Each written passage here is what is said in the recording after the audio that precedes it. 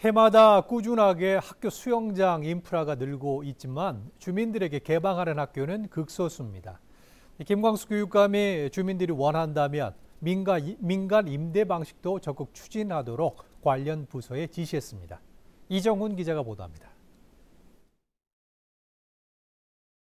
제주의 수영장을 보유한 학교는 초등학교 8군데와 중학교 5곳, 고등학교 1곳 등 모두 14군데입니다.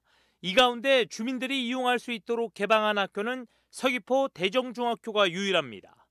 이처럼 수영장을 개방한 학교가 적은 것은 안전과 예산 문제가 원인으로 꼽힙니다. 주민들이 이용하는 만큼 운영비 부담 비율이나 안전사고 발생 책임을 학교장이 모두 떠맡기를 꺼리는 겁니다. 문화체육관광부하고 대한체육회에서 하는 사업이 있습니다. 그래서 학교에서 신청을 해주면 거기서 예산 다 위에서 나오고 관리 주최하는 사람들 다 이제 공모 받아서 하면 되는데 또 그걸 또 학교에서는 안 하세요.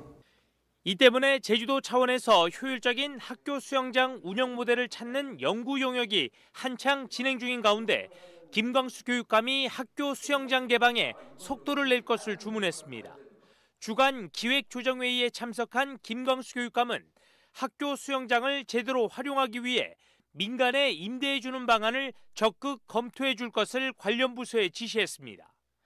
이에 따라 제주교육당국은 수영장을 보유한 13군데 학교를 대상으로 민간 임대 등 학교 수영장 개방을 위한 안내를 계획 중입니다.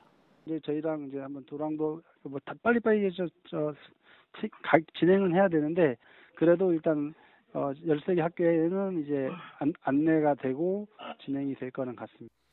하지만 교육감의 주문에도 학교 수영장을 개방하는 학교가 늘어날지는 여전히 불투명합니다. 일반 공공 수영장과 달리 학교 수영장의 경우 수심이 얕고 레인 길이도 짧습니다.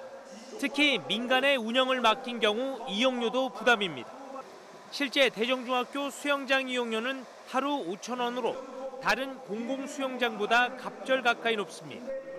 학교 시설 개방에 적극적인 김광수 교육감이 민간 임대 도입을 포함한 수영장 개방에 속도감 있는 추진을 지시하면서 두 번째로 학교 수영장을 개방하는 학교가 나올지 주목됩니다.